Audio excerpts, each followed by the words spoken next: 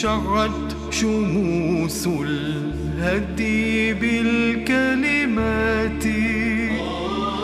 فأنارت الأفهام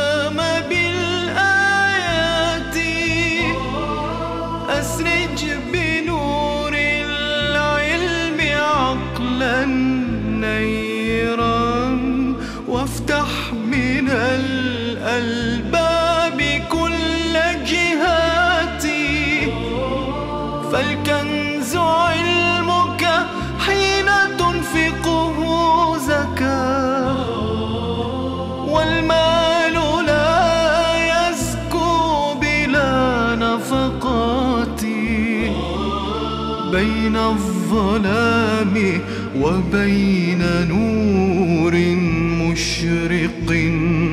هدي ينير الدرب بالومضات. بسم الله الرحمن الرحيم. الحمد لله رب العالمين.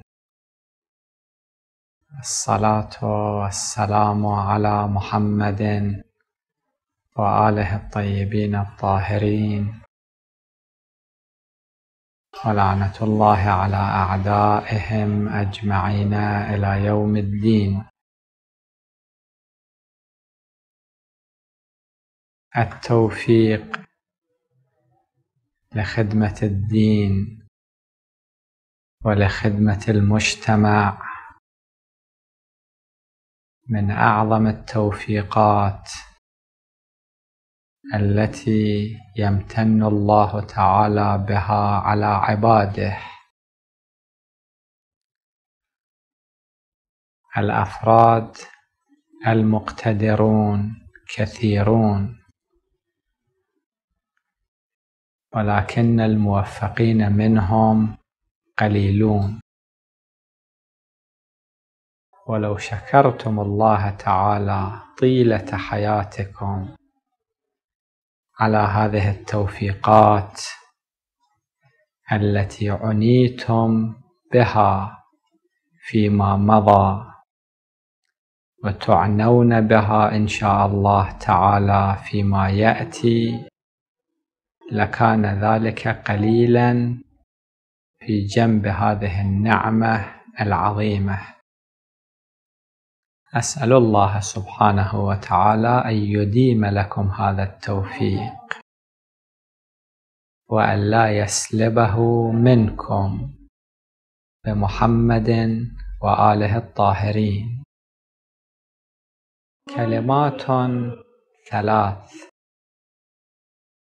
الكلمة الأولى المنظومات الثلاث.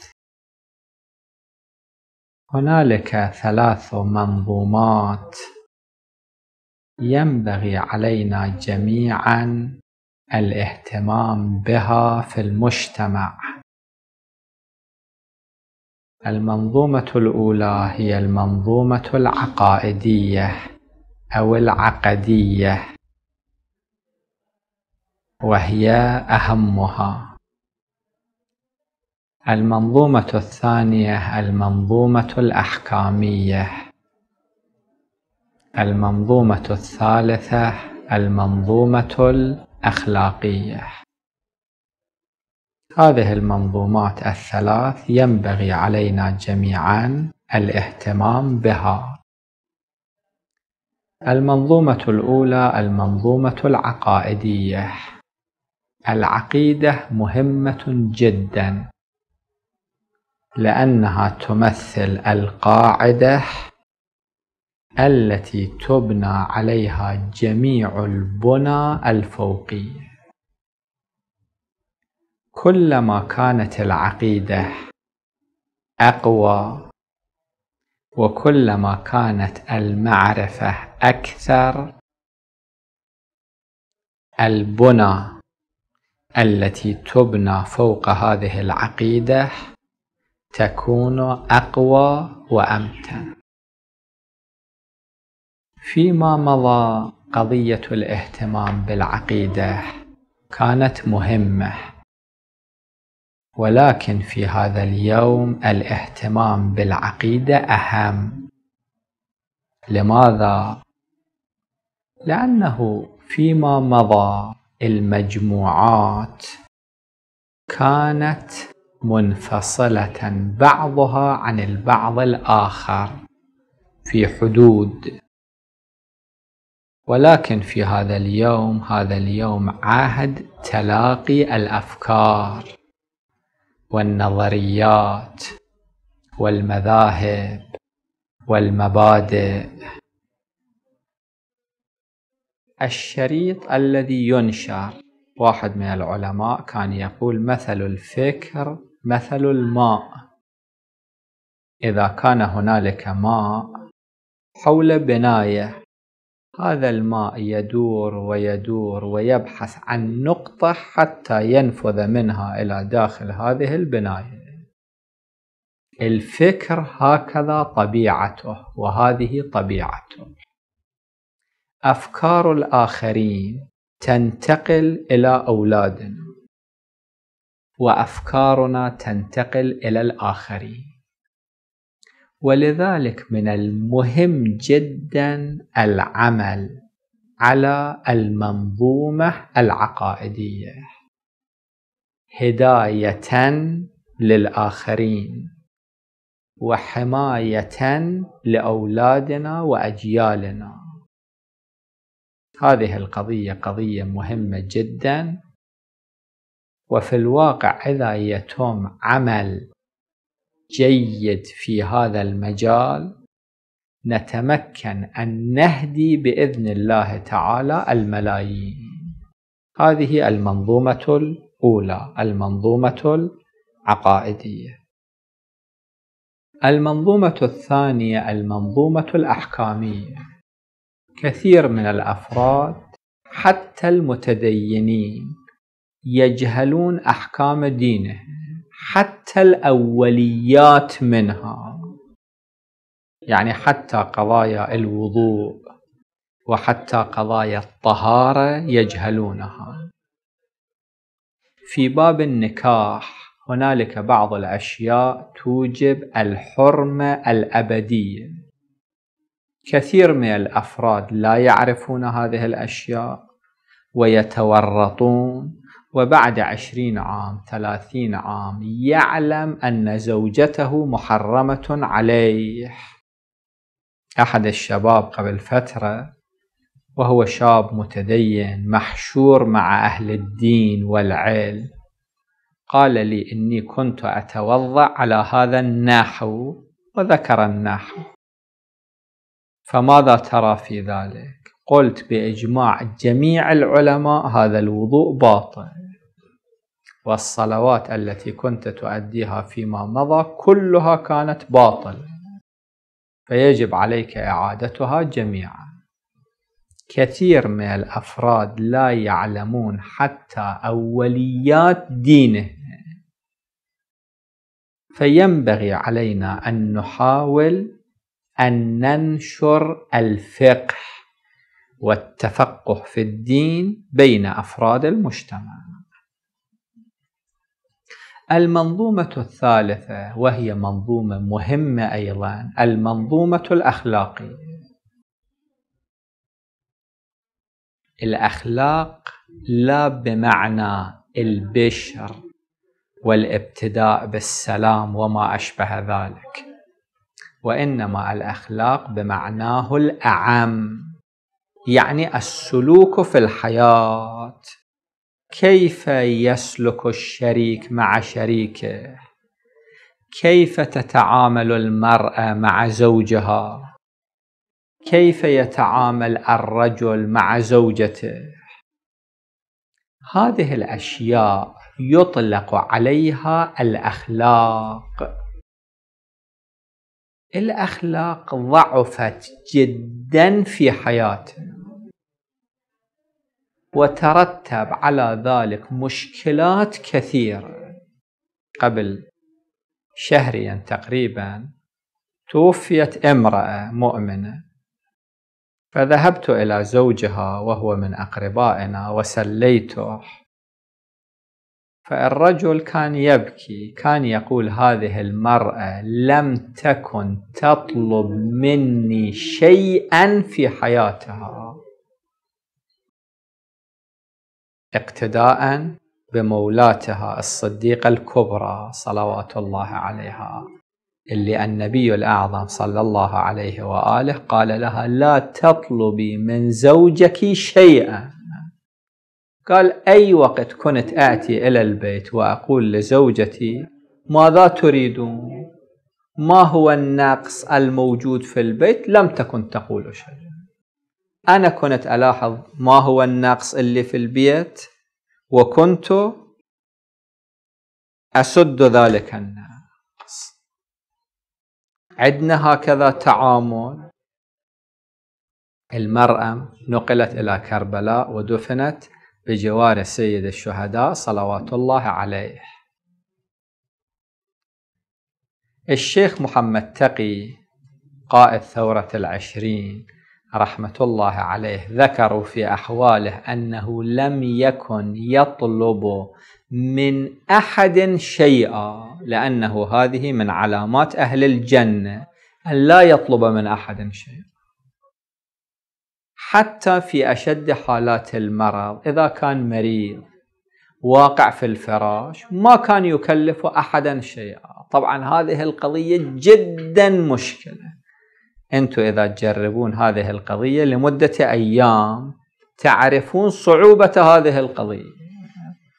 الرجل لا يكلف زوجته شيئا أبدا حتى أنه تأتي بالماء والمرأة لا تكلف زوجها أبدا بأي شيء. هكذا كان آباؤنا وأجدادنا. كلامي مو في هذه المفردة بالذات الحالة الأخلاقية عموما. هذه ضعفت في المجتمع. وعلى أثار ضعف الحالة الأخلاقية في المجتمع المشاكل دخلت في كل بيت. الآن لعله من النادر أن تجدوا زوج راضي عن زوجته.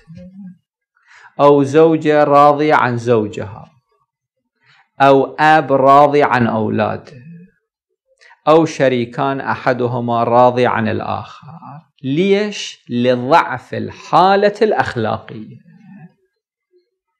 هذه الحالة الحالة الأخلاقية ينبغي علينا أن نعيدها في المجتمع. إذن المنظومة الأولى وهي أهم المنظومات المنظومة العقائدية. المنظومة الثانية وتتلوها في الرتبة المنظومة الأحكامية. المنظومة الثالثة وتتلوهما في الرتبة المنظومة الأخلاقية. هذه المنظومات الثلاث ينبغي علينا جميعا أن نهتم بها. وبتثبيتها في المجتمع. هذه الكلمة الأولى. الكلمة الثانية ملء الفراغات. الشيطان يبحث عن منفذ إلى المؤمن. ومن أهم منافذ الشيطان الفراغ في حياة المؤمن. نحن المتدينين ينبغي علينا أن نملأ الفراغات الاجتماعية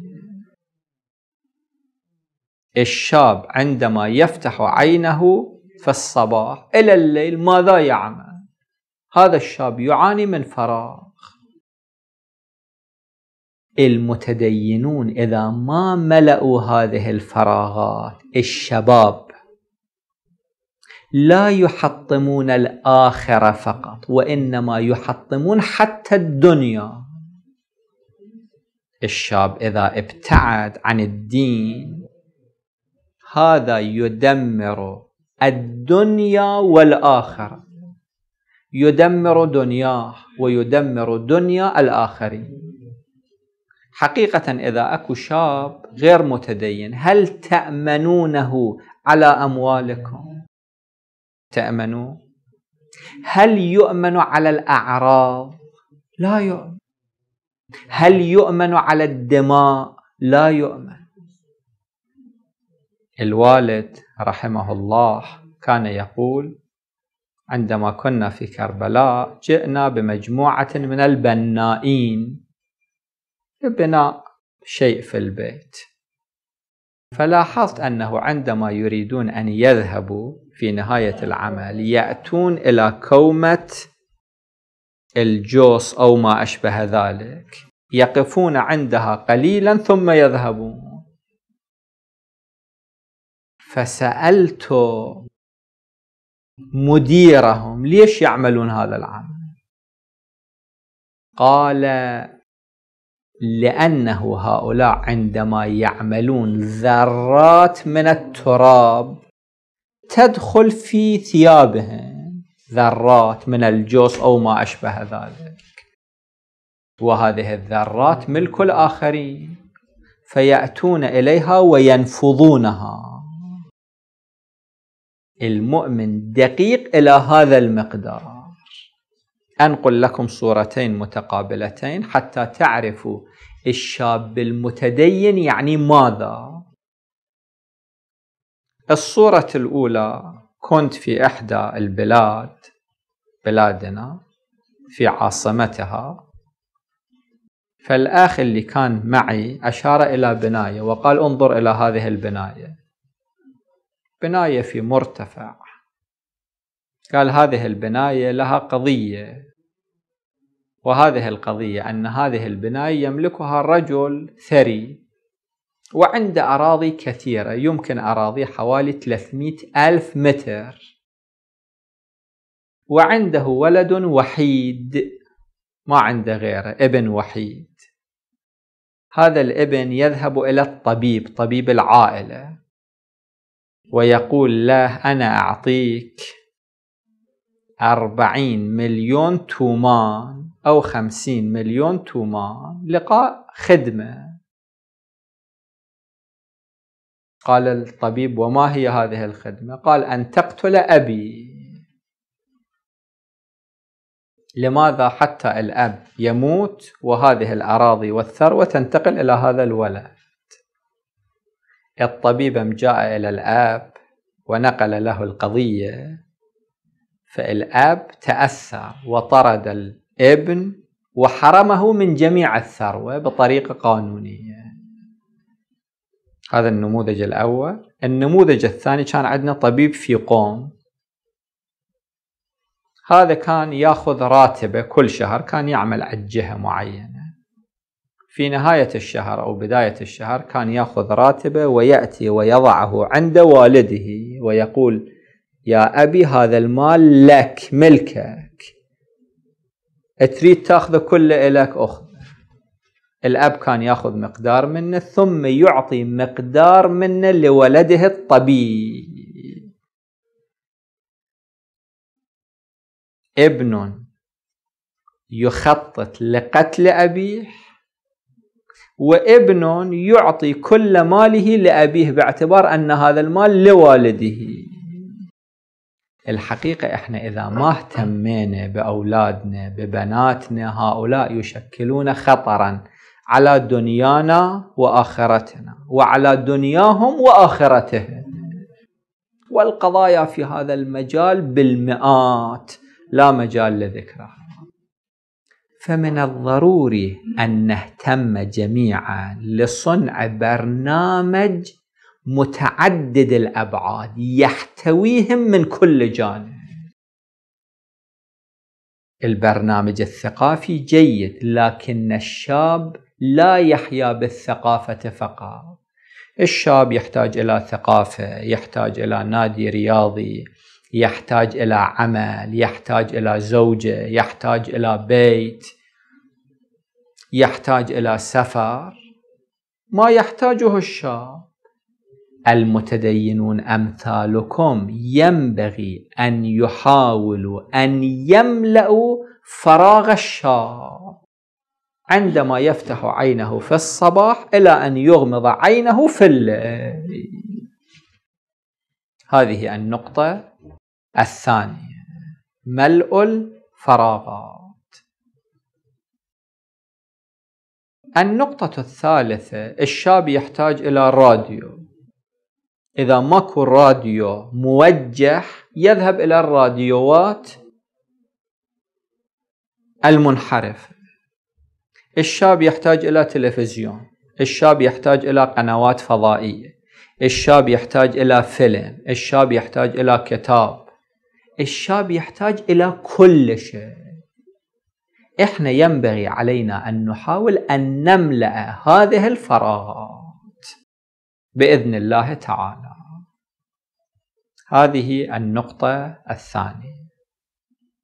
الكلمة الثالثة تحريض الآخرين. أنتم تعملون. وهذه أعمالكم إن شاء الله مباركة.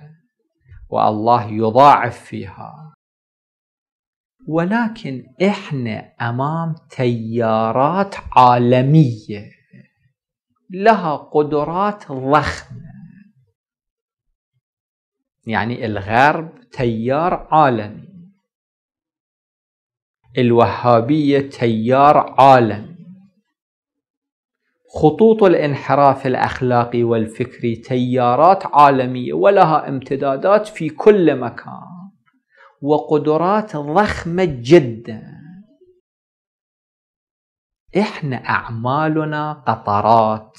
وهذه قطرات مباركة إن شاء الله. ولكن ينبغي أن نحول هذه القطرات إلى شلالات وسيول. كيف يكون ذلك؟ بأن نحرض المجتمع. الله تعالى يقول مخاطبا نبيه الأعظم صلى الله عليه وآله يا أيها النبي حرض المؤمنين تحريض. أي واحد شفته صغيرا كبيرا رجلا امرأة شيخا شابا حرضوا. الوالد رحمه الله له كلمة يقول كل فرد مشروع. كل واحد ينبغي أن يتحول إلى مشروع كامل. حرضوا الأفراد. هذه القضية نقلها أحد العلماء قال أنا عندما كنت طفل عمري ثمان أعوام مثلا هالحدود تقريبا. جئت إلى الوالد رحمه الله. فالوالد قال لي اكتب ألف طفل عمره ثمان أعوام تشوقوا على التأليف. نعم هذا الطفل مؤثر. فقلت له ماذا أؤلف؟ قال اكتب في القضايا الاجتماعية. قضايا الاجتماعية يعني قضايا الزواج وقضايا العائلة وما أشبه فقلت له وما معنى القضايا الاجتماعية؟ طفل. فقال لي يعني كذا وكذا. يقول هذه الكلمة أثرت في وحرضتني وشوقتني وأعطتني روحية. هذا الرجل الآن أحد كبار المؤلفين في العالم. ذلك التشويق أثر أثرا. وطفل من الأطفال أيضا. كان طفل ذاك الوقت كلش طفل. يقول في يوم من الأيام ركبت العربانة عربانة ربل. تعرفون يعني شنو؟ اللي تجرها الجياد مع الوالد لأن أخوه الأكبر كان مع الوالد فهو أيضا ركب فيقول الوالد قال له ما اسمك؟ فقلت فلان. فقال لي هل تعلم أن هذا الاسم اسم واحد من كبار علمائنا وهو فلان؟ وأنت يجب أن تكون مثله. يقول ذيش الكلمة أثرت في وحرضتني والآن هذا الطفل أحد كبار الخطباء في العالم. تعبئة الطاقة. أنتم تعملون كل شيء لكن حاولوا كل من رأيتموه أن تحرضوه. هذا التحريض جدا مؤثر. وثواب هذه الأعمال التي يقوم بها الطرف اللي حرضتوه تكتب في ديوان أعمالكم كما يكتب له الثواب أيضا. المنظومات الثلاث أولا وملء الفراغات ثانيا وتحريض المجتمع وتعبئة الطاقات ثالثا. إن شاء الله هذه الأعمال وهذه النشاطات وهذه الخدمات التي تقومون بها كلها مكتوبة عند الله وهي وسيلة من وسائل الشفاعة إن شاء الله لكم. يوم لا ينفع مال ولا بنون. وإن شاء الله الله تعالى يبارك في هذه النشاطات وينميها. والعناء الذي تتحملونه إن شاء الله كله يذهب عندما تشاهدون نتائج أعمالكم. المؤمن يشاهد نتائج أعماله مرتين مرة في الآخرة ومرة في هذه الدنيا. ووجدوا ما عملوا حاضرا. أصغر خدمة من هذه الخدمات إن شاء الله مكتوبة ومرضية ومقبولة. نسأل الله سبحانه وتعالى أن يديم لكم هذه التوفيقات وأن يزيد لكم هذه التوفيقات. إحدى الأشياء الأخرى أن لا تخافوا من الاقتراض. منهجية الاقتراض لأعمال الخير. العم حفظه الله كان يقول أنا من أربعين عام. ما أتذكر أنه ليلة نمت وأنا مو مديون. لا تفكروا المال أولا والعمل ثانيا. العمل أولا والمال ثانيا. الله تعالى يقول يشير إلى هذه المعادلة كما يبدو. يقول وما أنفقتم من شيء فهو يخلفه. يعني أن الإنفاق أولا وإخلاف الله تعالى ثانيا. كثير من علمائنا ماتوا وهم مديونون. سيد الشهداء صلوات الله وسلامه عليه استشهد في كربلاء وهو مديون. وتكفل ديونه الإمام زين العابدين صلوات الله عليه. على ما في بالي الإمام كان مديون بحوالي سبعين ألف دينار ذهب.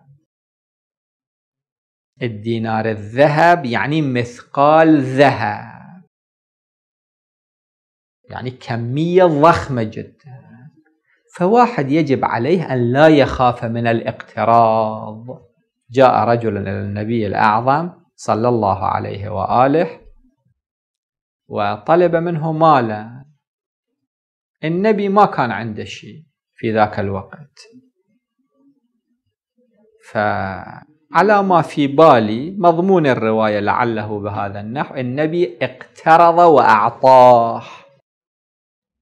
فقال الثاني للنبي صلى الله عليه وآله إن الله لم يكلفك ما لا تقدر عليه. فبان الامتعاض على وجه النبي صلى الله عليه وآله من هذه الكلمة. رجل آخر توجه إلى النبي الأعظم صلى الله عليه وآله وقال له أنفق ولا تخشى من ذي العرش إقلالا. الله تعالى يخلف ويعطي. أنفق ولا تخشى. فأنتم إن شاء الله لا تخشوا من الاقتراض اقترضوا لأعمال الخير والله سبحانه وتعالى يخلف عليكم. شكر الله لكم هذه الجهود وبارك فيها وأيدكم وصلى الله على محمد وآله الطاهرين. شعت شموس الهدي بالكلمات فأنارت الأفهام بالآيات. أسرج